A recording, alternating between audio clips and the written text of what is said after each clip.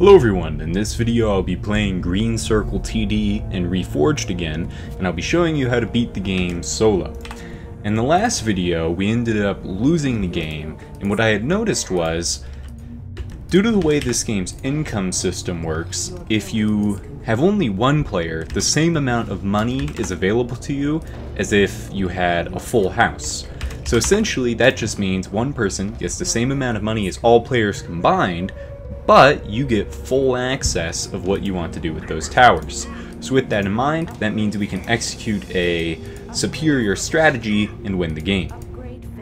So at the start here, I'm going to build six towers, one in each corner, and then one at the side points. I'm going to make all of them into critical strike towers. Then I'm going to upgrade the critical strike tower at the top left, specifically to level 3, and the rest I'll gradually upgrade to level 2.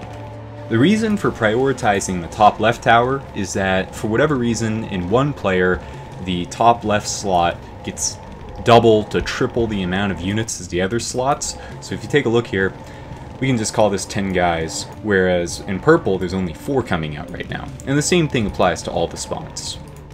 So you really don't need to rush the upgrades on the corners very quickly, which is why they'll usually be one to two levels behind, or even more as the game goes on.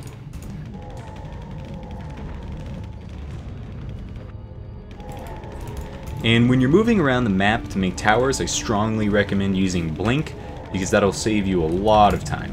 And the Blink cooldown is pretty much instant, so it's a non-issue. In a moment here, we're going to upgrade this Critical Strike Tower to level 4, And if we wanted to, we could build one or two extra crit towers, but due to the nature of the scaling, just ends up being better to focus on getting one big critical strike tower instead of multiple smaller ones. However, later on I probably will still get one or two extra crit towers for at least a little while, because at certain points of the game a lot of units can build up, and the towers, the crit tower does max out at level 10, so if we reach that, once we reach that point rather, it will be useful to have a couple extra towers just to prevent it from reaching the 700 unit limit. So yeah, to explain that further, the objective of this game is to survive for 36 waves without the total amount of units on the map ever exceeding 700. To accomplish that, you need to kill the units with your towers more quickly than they spawn. At certain points in the map, lots of units will spawn at the same time, which can pose a pretty big threat, such as right now, but we're not truly in any danger because at the end of this wave, it'll switch over to a low spawn wave, which will, like, let's see here. Yeah, the boats, and the boats spawn at about half the frequency of the previous wave, so as your towers begin to get more powerful from killing this batch of units, you'll easily be able to take them all out, and the low spawn rate of the boats will bring you back down to the lower 200s. And once you get past this point, I think it usually floats around the 2 to 300 point for most of the game. So let's take a look, see how our towers are doing. Seems like this level 4 is just about enough to handle the top left. Probably could use an extra upgrade right here, so I'll be upgrading this tower next.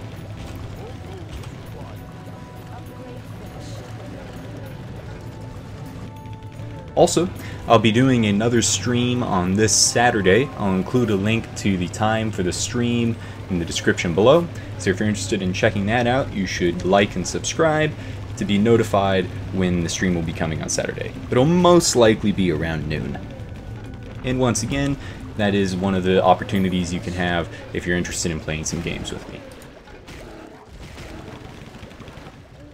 Yeah, we could build one extra tower here if we were really concerned, but due to, the tower's prices, I'm not too big of a fan of having extra towers in regions like this, because the units will ultimately just walk to the other tower zones anyway.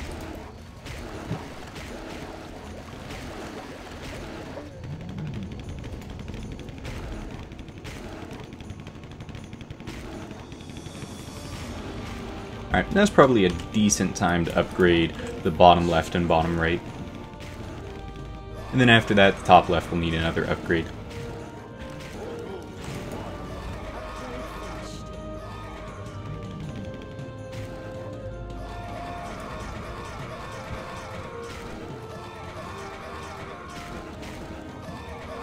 And so there is one other tower that you can consider getting at this point of the game, Personally, I'm not too big of a fan of it, but the single shot tower can be upgraded into the slow tower, which will slow down the rate of movement speed by 10, 20, 30, or 40% for around, I think it's 400 gold, 800 gold, 1200, and 2000. So you can get that, but as I explained earlier, since the units will just run around the map to your other towers, it's not too much of a need to keep them in one region by slowing them down. I might still pick that up later, but it's not particularly essential. The only reason I might end up picking it up is just because at certain points of the game, you'll end up getting so much money that the 2000 from it's unnoticeable, and the slow does help a tiny bit because it keeps them next to your strongest tower.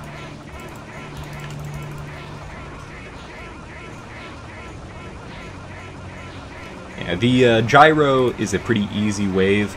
All the flyers have a very low amount of hit points relative to the previous ones, so this is another wave that'll lower the amount of total enemies on the map significantly.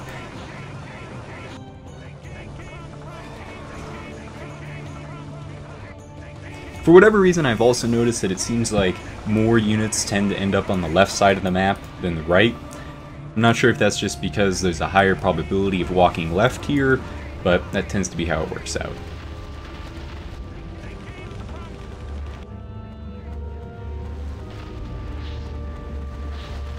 Four thousand for our next crit tower upgrade.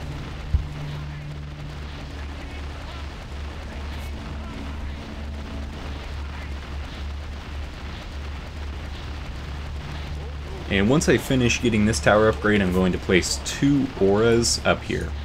The reason for placing the aura towers up here is that the aura range is very large, so by putting the aura here, it gives us access to... I can't zoom out here. But it gives us access to more or less this whole region for auras, which will help us later on with uh, certain towers to take out the final waves. Actually, could be a little bit soon for the aura. Yeah, I'll hold off on that for now. Aura 1 only gives 30% attack speed, so it's better to just invest the 1000 of savings into a superior tower. Another really easy set of... Actually, wait. No, yeah, this is a wave. this one is just so easy that I was thinking it was just remnant units wandering around the map, but that was not the case.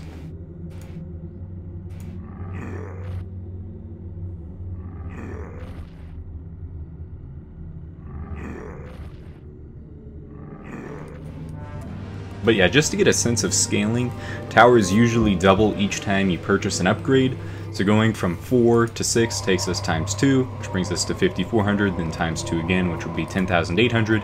We're actually slightly above that, which is why it's really valuable to upgrade towers, because it's actually a little more than double each time.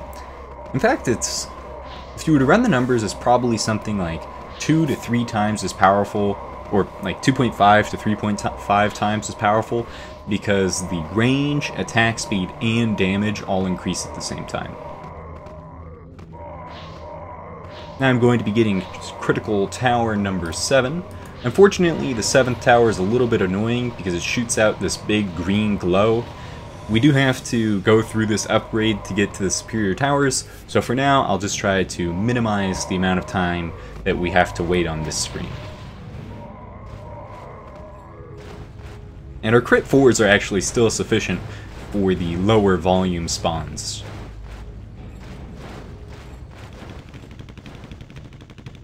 Right, it's probably about time to upgrade this one. Upgrade finished.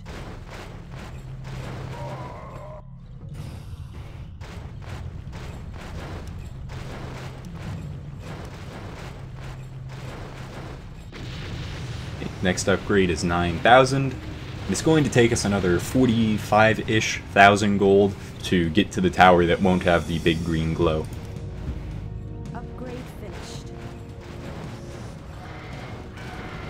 Probably about time to upgrade the corner towers, since they are starting to leak some units out of the regions. Tower 5 should be sufficient.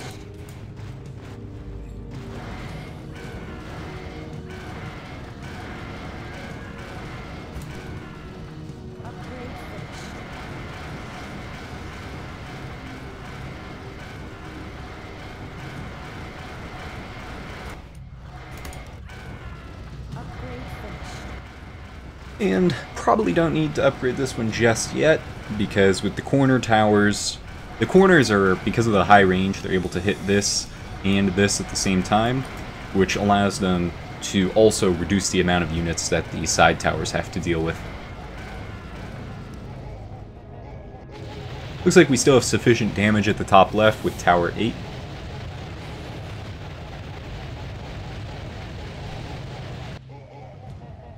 Alright, we can upgrade these. Not needed, but does round it out. Keep the unit count nice and low. Also, occasionally units can get stuck, so you can, if you're really concerned about having a perfect enemy count, just uh, place an extra tower next to the orange spawn. The orange spawn is the only one I've ever seen where units get stuck. It's happened pretty much every game where one unit will get stuck here. Of course, if I place a tower here now, it's just going to get absorbed by the other units, so I might do that later if I really care. So just to show off crit 9, you'll see the glow is extremely rapid. That's because the attack speed is really high now, and once we go to uh, crit tower 10, the attack speed will be even better, and so will the damage. And now that I have crit 9, it's a good time to get the auras. So as I had mentioned, I'm going to get the auras over here because we want to place towers in this zone. And just to double check, let's make sure the auras hit. Damage aura, and it's good.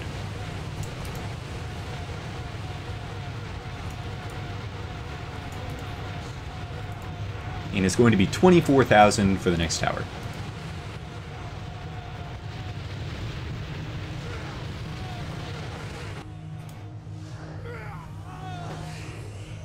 Looks like the corner towers are falling behind. But I'd still like to finish upgrading this one first. 4,000 to go. Yeah, okay. Even though I'd like to do that, they are building up pretty quickly in the corners. That's about right.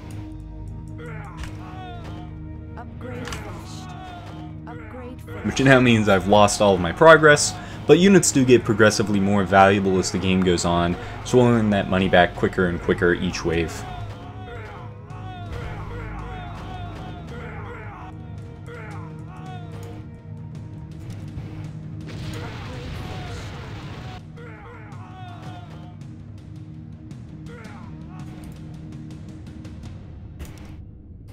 Upgrade finished.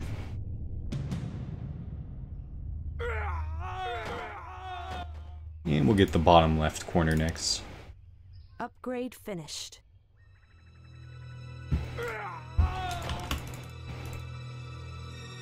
So, to show off the tower that I was building, going to mention earlier, is for the final wave I'm going to be building a tower called the One Shot Tower, which can do one attack per 7 seconds, but it is uh, benefited by the attack speed aura tower, which is how we'll ultimately killing the final bosses. And that's why we placed the auras here.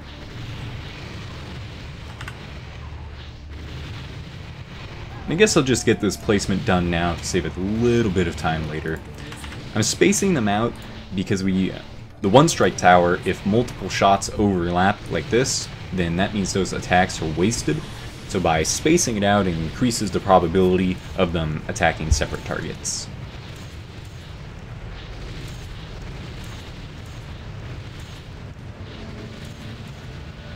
And at last, we've reached the Critical Strike Tower 10, which ha has a much more mild effect that's not bad at all. And due to the strength of this tower, it's now a good time to upgrade the speed again and the damage aura, because percentage-wise, it'll be a significant boost. It'll take it from 90,000 damage to plus 50% and then plus 80%, so it's essentially getting an extra superpowered tower for half the cost or less. I'll probably be stopping at Damage Aura 2 though, because the Damage Aura 3 would be useful if our towers couldn't one-shot enemies at the end, but since they can, the damage is pointless. Yeah, and to the perfect tower, all these enemies are dying instantly.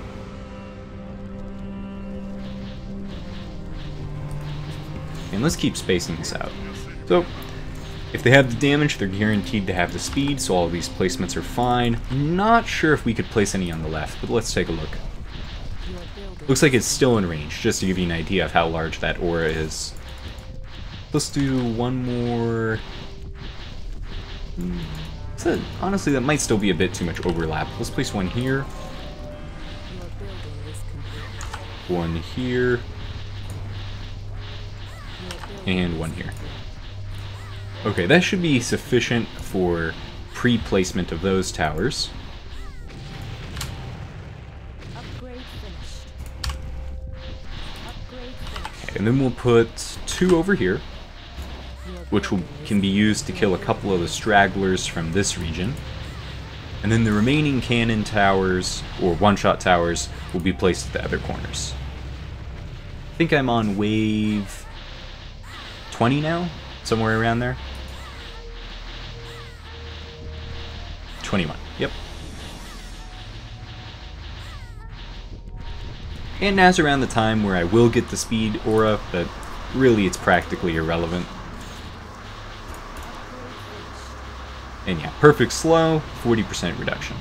And it, for whatever reason, also reduces attack speed, but there are zero enemies in the game that can attack. Actually, wait a minute. Plus attack speed to our 20%. Maybe I just misread that. Perhaps that increases the attack speed of our towers? Wouldn't really make sense on a slow tower. Let's uh, try this out. Just a little bit of science here. So this is in range of nothing. Now we'll place a slow tower. Your building is complete. Upgrade finished. Okay. So apparently the slow tower improves the attack speed of friendly towers. Oh, well, I guess that does make sense when you really read it. Attack speed tower 5%.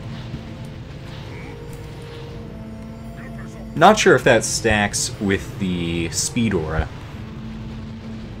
Might though, because that would be 80% speed from the speed tower and then an additional 10% or 20% speed from the slow tower. So my speed is now maxed out, and the next towers I will upgrade are going to be at the bottom right and bottom left. Actually, you know what? This one makes more sense. I'm going to be upgrading these to Tower 9, because at Tower 9 we can sell it for full value, whereas at Tower 10 it will only sell for half value. And Tower 9 is a significant attack speed boost over the level below it.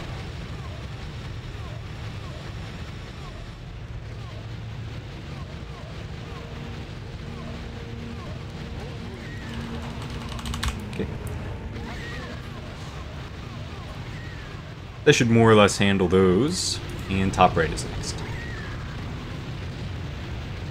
Mm, let's do bottom right. I already got that to level 8.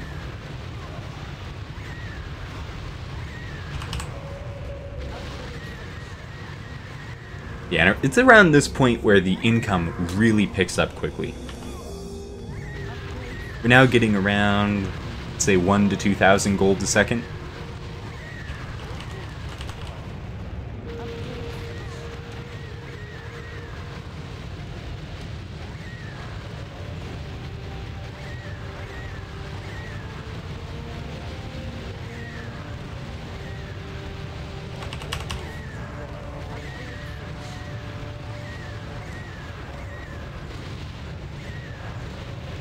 And you can really see that by getting the superior level 9 tower, the enemy rate's going back down. I think it was up to 350, now we're at half that.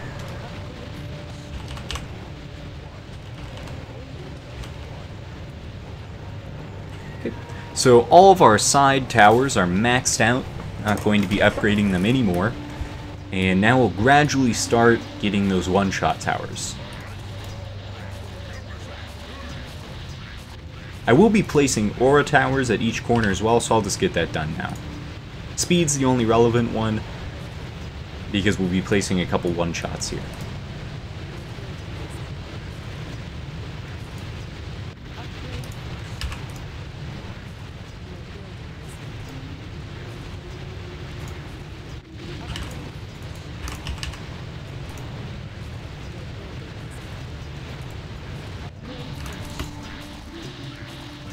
Okay, so now we can get our first one-shot tower.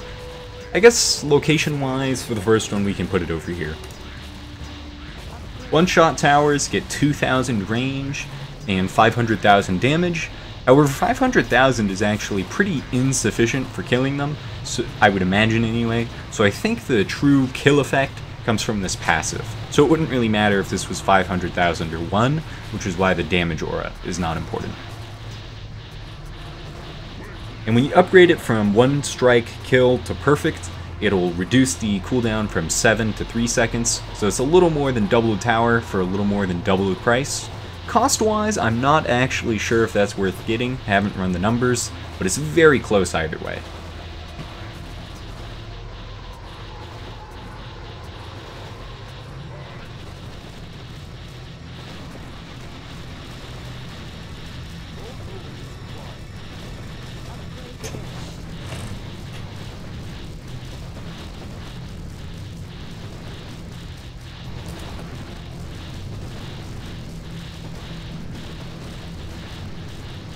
Yeah, and these little single shot towers, they're just doing nothing.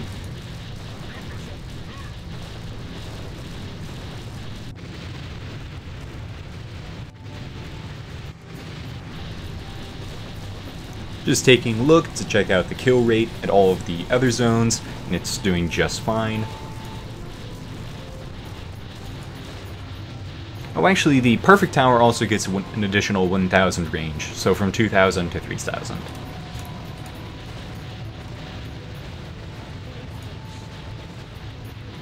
Yeah, this is an example of wasted shots, where some of these are shooting after the critical strike tower already kills them, completely wasting it.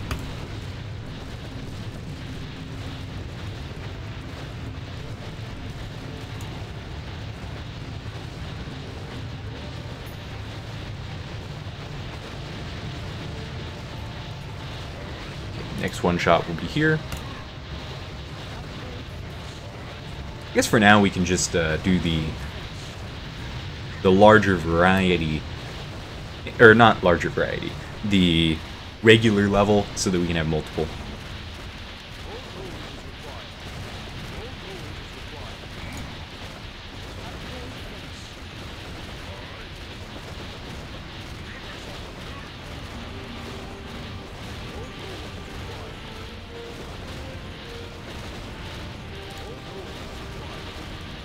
Think this is wave 32, so we're beginning to near the end.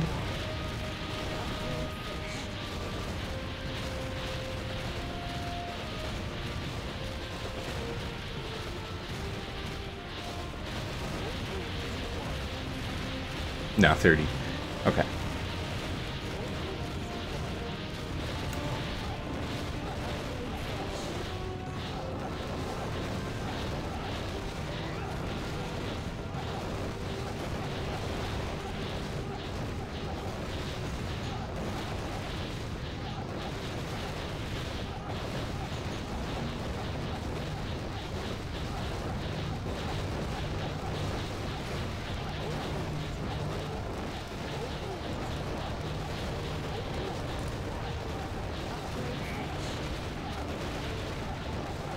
And if you're concerned about the enemy count at this point, you can manually target the weaker units with your crit towers to take them out. This really only applies to the Black Dragons. Since they are not hero units, the game's auto-targeting AI doesn't prioritize them, which can lead you to have a slightly higher total enemy count than you otherwise would. But if you've made it to the lobsters, you're pretty much fine. The lobster rate has a slower spawn than the wizards.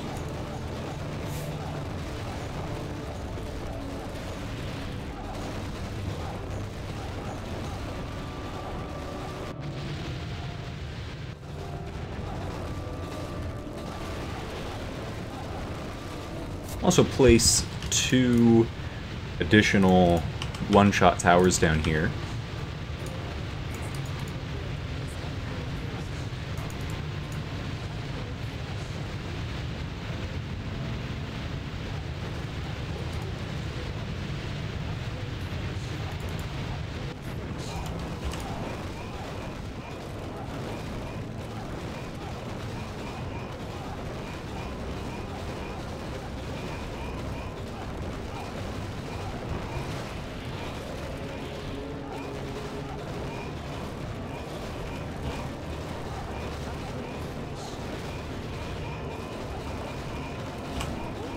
Did I upgrade the... Yeah, I did.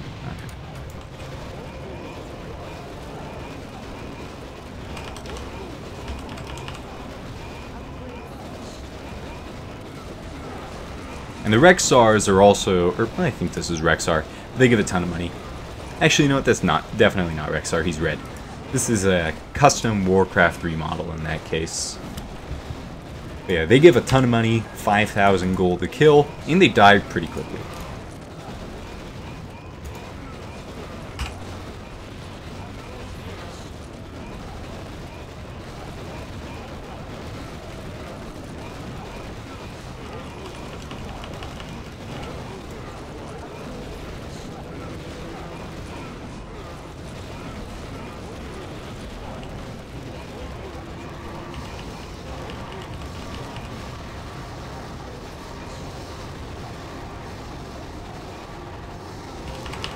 One more one strike kill to go. And it looks like our current quantity of one strike perfect kills is just about right because it's able to take out almost all of this wave. So if we assume that the final boss wave has the same amount of spawn count, then this means we don't really need any more towers up here. So with that in mind, we'll get some more over here. And upgrade it to max speed.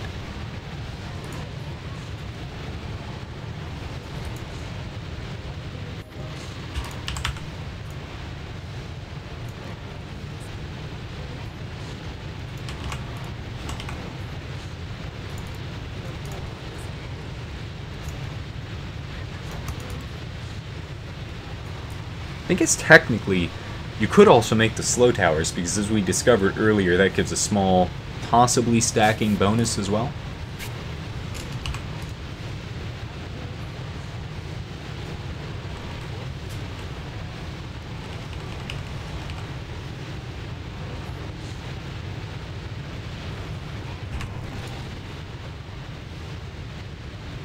So now if you want to, you can sell the Critical Strike 9 tower to get around 45,000 gold back.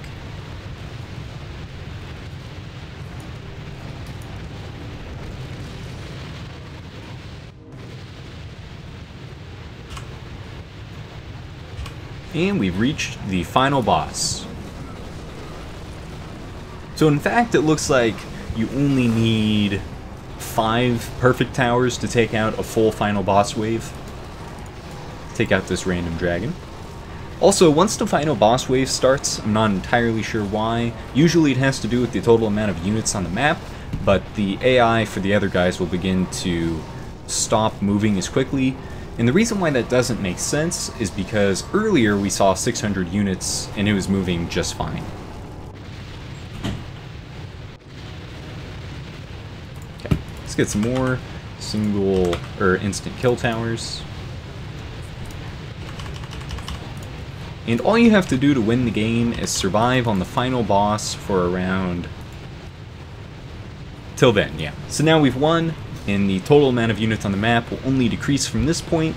For fun, I might let this run for another minute or two, but that is the end of the game. So now you just have to wait for the units to slowly walk to wherever your towers are for them to die.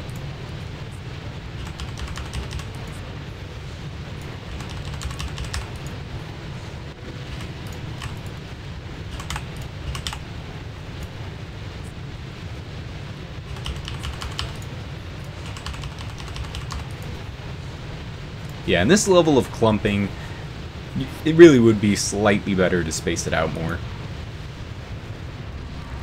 So this would probably be fully cleared in about three minutes, but since there's no reward for that, I'll stop it here.